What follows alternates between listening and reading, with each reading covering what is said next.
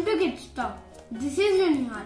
Today I have come up with a video on a small story. In a forest, which animal is the biggest? Mm, elephant. The tallest? Mm, giraffe. The wisest? Mm, fox. The fastest? Mm, cheetah. Yet the lion is the king of the jungle even without any of these qualities. Why? Because the lion is courageous, bold, walks confidently, and a risk taker. The lion believes that any opportunity should try and never let it off.